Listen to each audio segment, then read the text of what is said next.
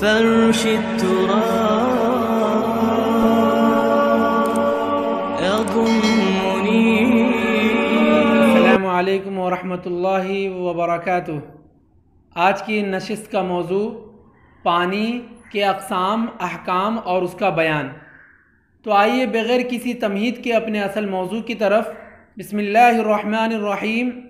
حضرت ابو حریرہ رضی اللہ عنہ سے روایت ہے کہ رسول اللہ صلی اللہ علیہ وسلم نے سمندر کے پانی کے متعلق فرمایا کہ اس کا پانی پاک ہے اور اس کا مردار حلال ہے۔ مذکورہ بالا حدیث میں اللہ کے رسول صلی اللہ علیہ وسلم کا فرمان دراصل ایک سائل یعنی ایک سوال کرنے والے کے جواب میں ہے، جس نے آپ صلی اللہ علیہ وسلم کی خدمت میں حاضر ہو کر یہ عرض کیا کہ اے اللہ کے رسول، ہم سمندری سفر کرتے ہیں اور ہمارے پاس تھوڑی مقدار میں پانی ہوتا ہے اور اگر ہم اس پانی سے وضو کریں تو پیاس سے مر جائیں۔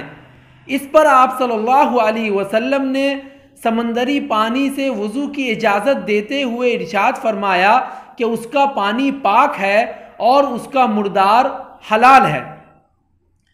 اللہ کے رسول صلی اللہ علیہ وسلم نے مزید فرمایا کہ اس کا مردار حلال ہے۔ اس لیے کہ اگر کوئی شخص سمندری سفر کے دوران پانی کی طرح خوراک بھی ختم ہونے کا خدشہ ہو، تو سمندر کے مردہ جانوروں کو خوراک کے طور پر استعمال کیا جا سکتا ہے۔ مگر یہ بات ذہن نشی رہے کہ سمندر کے جانوروں میں، مردہ جانوروں میں صرف وہی جانور حلال ہے جو صرف سمندر کے اندر ہی رہتا ہو، خشکی پر نہیں۔ اس سلسلے کی دوسری حدیث دیکھتے ہیں، جس کے راوی حضرت ابو سعید خدری رضی اللہ عنہ ہیں۔ سے روایت ہے کہ رسول اللہ صلی اللہ علیہ وسلم نے فرمایا، بلا شبہ پانی پاک ہے اسے کوئی چیز ناپاک نہیں کر سکتی۔ یہ حدیث بھی ایک سوال کرنے والے کے جواب میں ہی اللہ کے رسول صلی اللہ علیہ وسلم نے ارشاد فرمایا۔ آپ صلی اللہ علیہ وسلم سے پوچھا گیا بیر بزعا سے وضو کرنے کے سلسلے میں۔ بیر بزعا ایک کنویں کا نام ہے، جس کنویں میں حیض آلودہ کپڑے اور کتوں کا گوشت پھینکا جاتا تھا۔ تو آپ صلی اللہ علیہ وسلم نے اس کے جواب میں کہا کہ ان الماء طہور کہ بے شک پانی پاک ہے اور اسے کوئی بھی چیز ناپاک نہیں کر سکتی۔ مذکورہ حدیث کا مفہوم اس وقت اور واضح ہوگا جب ہم ایک تیسری حدیث کو دیکھتے ہیں، جس کے راوی حضرت ابو امامہ باہلی رضی اللہ عنہ ہیں۔ سے روایت ہے کہ رسول اللہ صلی اللہ علیہ وسلم نے فرمایا کہ بلا شبہ پانی پاک ہے، اسے کوئی بھی چیز ناپاک نہیں کر سکتی، مگر جو اس کی بو، اس کے ذائقے اور اس کے رنگ پر غالب آ جائے۔ اسے ابن ماجہ نے روایت کیا ہے اور ابو حاتم نے اسے ضعیف قرار دیا ہے۔ اگرچہ مذکورہ حدیث ضعیف ہے، لیکن اس کے قابل عمل ہونے پر امت کا اجماع ہو چکا ہے۔